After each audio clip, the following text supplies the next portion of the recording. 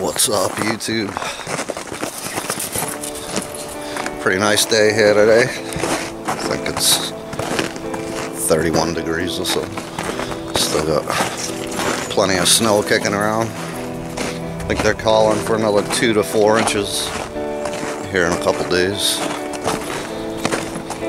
Uh, those of you that have followed me for a while, you know, winter was always my favorite time of year fall and winter really. Uh, I don't know if that's slowly changing or what. Or just the things I want to do that are changing that for me. So yeah, I posted that uh, video yesterday. Shot from my computer because I don't have any editing software. There was a couple of you that made recommendations on you know free downloads and stuff like that. So definitely check them out. I'm always leery of that stuff because I'm not you know, wicked computer savvy and all that. And I just, I don't want to ruin a brand new computer with downloading something that's going to mess it up. So chose not to do that, but further research shows that Windows 10 actually has like a hidden editing software. It's in like the photo app or something. So I checked that out real quick. Uh, it doesn't do a whole bunch, but it does the basics, I guess. So shoot this video and see what happens. But yeah, so still quite a bit of snow around. We've had some warm days. Definitely had a solid day or two of rain. and it's, it's still here. I can't wait till it's gone if I'm honest. Definitely ready for the spring. And again with the videos, uh, you'll know why. So just coming down here, this is the old animal area. I'll spin you guys around so you can check it out. But you know, when I was doing the homesteading videos back in the day, we had chickens, goats, uh, some guinea hens. Those, those about it. But so yeah, that that came to a stop again. I was active duty. Uh, the goats were a riot. I friggin' loved them. They were fun, fun to watch. You know, run down the trail with my son and all that. Uh, but they were wicked, obnoxious, and escape artists. So while I was away with the army, most of the time they would constantly break out of the pen. And I had it set up pretty good. Uh, you can go back and check those videos out if you want, but I opted to leave their horns on. I didn't get them dehorned just because I think it's cool uh, with them. But they totally busted the uh, the gate to get in and out of the pen for like, multiple times. They would follow my neighbor used to walk his dog they'd follow him home. He'd have to walk him back. uh, little nuisances, uh, but they were they were cool, man. So uh, the side of the shed, they blew a hole right through that as well, uh, just wreaking havoc over here. So anyway, long story short, uh, they kept getting out. I was constantly gone with the army, uh, and it became a pain in the neck, you know, for my son and my wife uh, to keep rounding them up and having to deal with that. So uh, we ended up getting rid of them. Uh, so we, the guinea hens kind of fizzled out too. Uh, two of them ended up dying and two of them, because I used to let all the birds free range, I think they just got picked off, uh, as well as the chickens over time. We're down to, I think it was two chickens at, at one point uh, and I had a really crazy day so we'll tell that story in here in a little bit but let me spin you guys around and just show you what the the old animal area looks like. So there if you remember from the older videos this whole side that was double high picket fence with chicken wire. I ended up taking all that apart again because the wife at the time she didn't want to come down here. We had quite a few bears around uh, so she was scared, and again, me being gone, uh, I ended up moving it up there by the house. Uh, and again, we only had probably a half a dozen chickens at that point, and then down to the two. But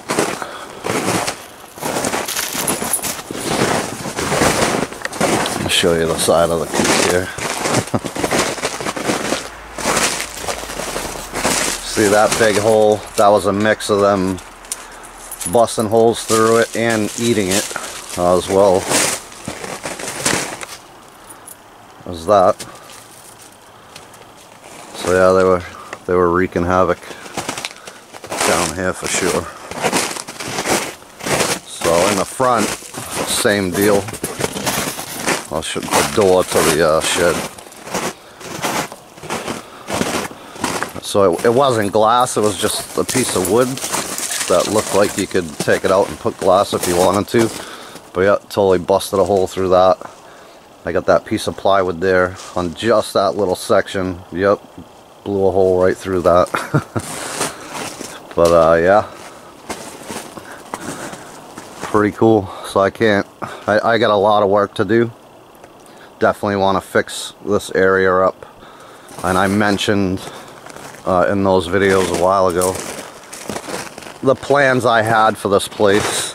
And uh, you know, between time with the army and all that type of thing, it just never happened. But uh, this year it's going to happen. So here, uh, just right across the trail here in this area, is where I plan on putting the garden. So without cutting anything down, just all these little weeds you see, I measured it out. It's like 25 feet by 40 feet.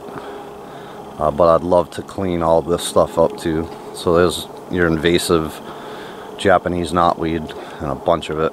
So I want to clear all that out, uh, put some fill in there and what have you. But just on the other side of that I got my apple trees, uh, the couple pear trees right here in the front, and a grapevine over there that all need, need work. Nanook! Here! Punk. But yeah, so garden area. I want to fix up this animal area here, and I'm thinking some some hog panels or what cattle panels uh, to go around and enclose that the bigger area that I mentioned again in those older videos. It's roughly 90 feet by 90 feet or something like that. Not perfectly square, but something like that. So yeah, that's some of the plans. Uh, so obviously still winter. I got a lot of work to do as far as getting set up, but uh, we do have some things still, and we'll show you that here in a second.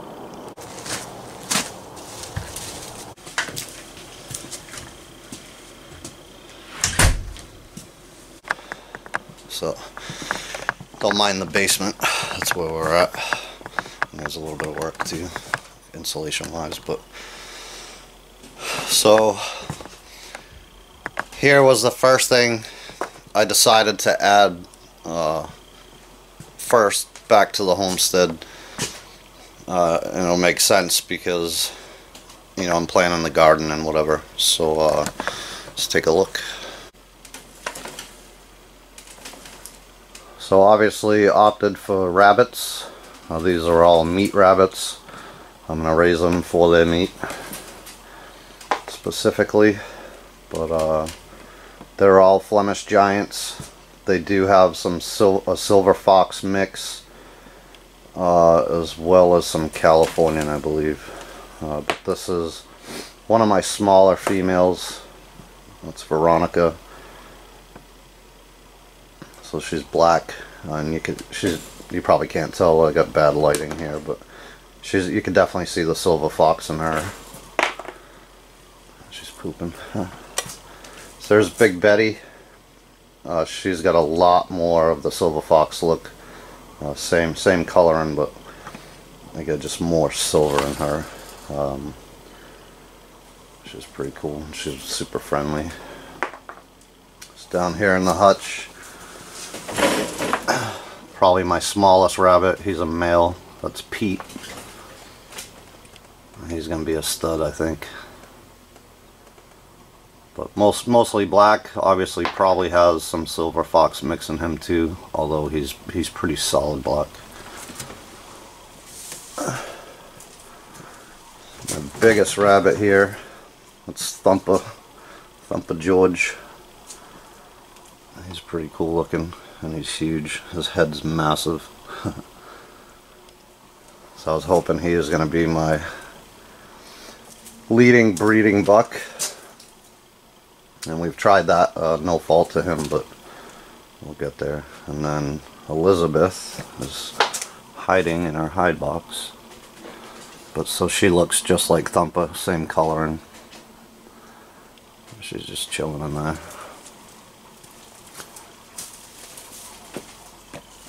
so I've had the rabbits for about two weeks ish. Uh, so Big Betty was bred on the 26th of January. So I'm expecting kits out of her about the 26th of this month, February. So they have a 30 day gestation period, so we'll be watching for that. Um, and I bred her with Pete, my little guy. Three or four successful fall offs, so that's cool. Uh, and same with Elizabeth. So Elizabeth, Thumper, and Big Betty are my three biggest rabbits. They were born uh, in March of 2019, so like 10 months old. And then Veronica and Pete were a different litter, uh, and they were born in May, so they're about 8 months old-ish. Uh, but yeah, so Pete has been bred with Elizabeth and Big Betty. Uh, so obviously different litters. I'm breeding them for meat, so I can it doesn't matter who I breed. You can breed the same litter. That sounds kind of disgusting, and that's why I won't do it, but there's nothing wrong in doing that. If you're just using them for meat, you obviously don't want to save kits to try and rebreed or raise as breeders later. Uh, you'd have to harvest them all, but the way I'm doing it for the five rabbits I have, should be no problems. So uh, little Pete gets bred with the two bigger girls and then Thumper George will get bred with a uh, little Veronica over here. So I've tried that a couple times and she's just absolutely not interested. So we'll keep trying that. But So yeah, I figured I'd start with the meat rabbits.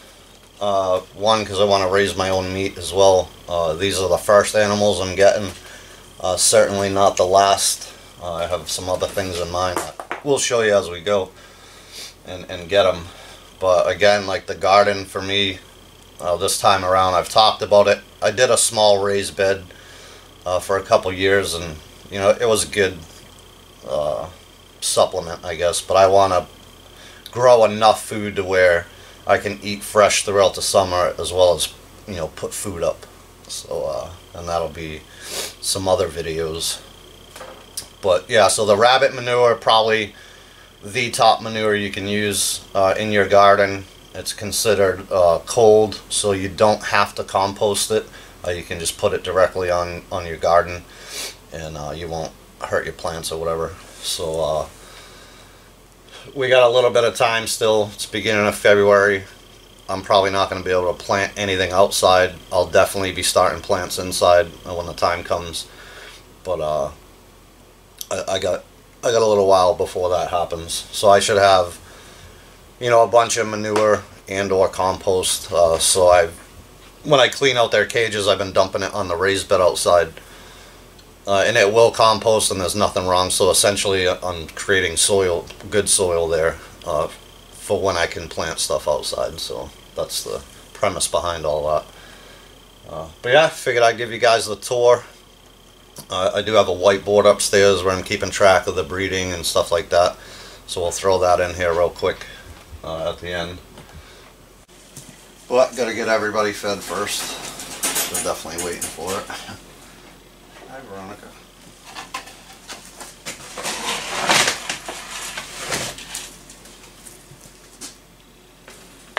Good job, crazy.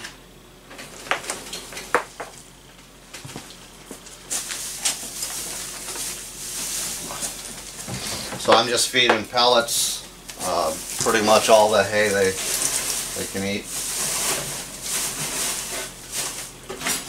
You know, obviously water, everyone's got water. And then I'll give them some snacks. So last night, uh, before bed, I just sliced up some apples for them and they devoured that. So.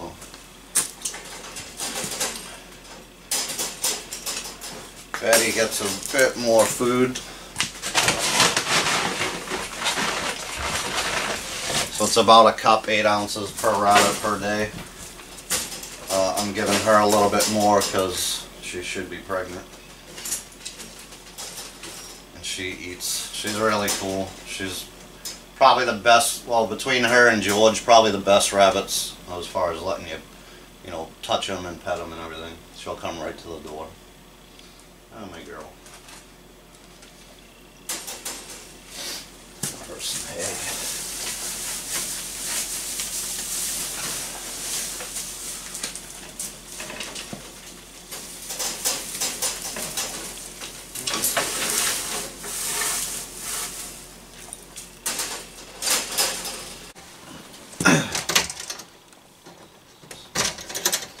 When I first got them, I had them, I only had two cages. Oops. So I kind of had three in one and two in the other.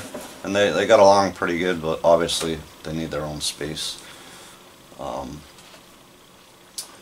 this I got from Tractor Supply, and though it's pretty cool, uh, it's, it's big enough for Pete because he's still small, but I'm going to get, well, I need a few more cages now uh, for grow out cages for the kits when they get here. But So I built these stands for the cages. And I'm going to build at least another one or two, four more cages. So really you need probably two cages per female uh, if you're breeding.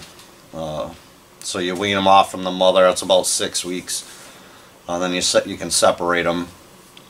Uh, you can grow them out in the same cage for the most part. Uh, the lady I bought these from, that's how she did it. But at some point, you're going to want to separate those males and females from that litter. Or they'll stop being naughty, you know what I mean?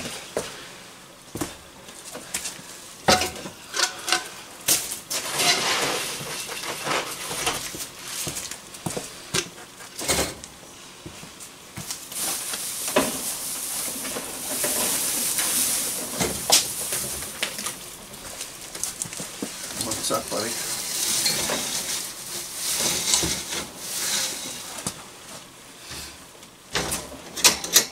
Up, Thumper? Hey, buddy.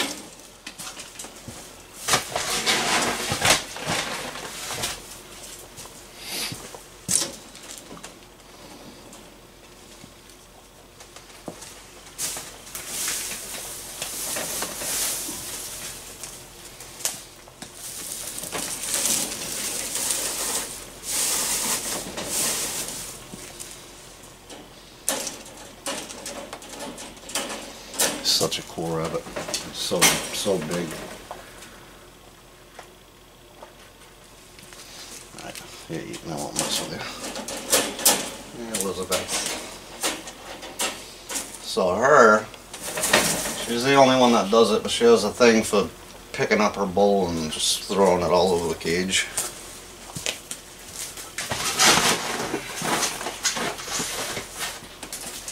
So I start her with the cup of food just because she'll she'll pick the bowl up and just throw it. Um, I mean she'll eat, obviously. I'll put it there. She'll eat, but she'll dump food too. So I make sure to give her the, uh, the little bit extra later this afternoon, just because she's should be pregnant as well.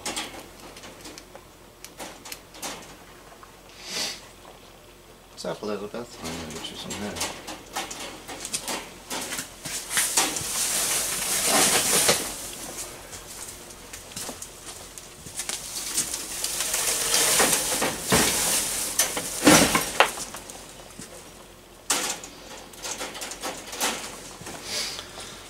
So yeah, there it is. Everyone's fed, hay, food, water. Good to go. So there's a chart was telling you about. It's got everybody's names, birthday, when they were bred, uh, when I can expect them to have their kits, when I can rebreed them, and then when they're uh, able to be harvested. Now Flemish Giants take a little bit long from my research uh, than like your New Zealand's or Californians or whatever uh, to, to grow out. So typically eight weeks you can harvest a rabbit. Uh, with these, and maybe like 10 or something like that, but we'll figure it out. Alright, so now I'm to sit here and edit this video for you guys. we'll see how that turns out with this uh, photo app thing. That's probably not to be anything fancy, you know. Not that it has to be, but appreciate you guys watching. Again, thanks for all your support. Uh, that video yesterday after a year gone.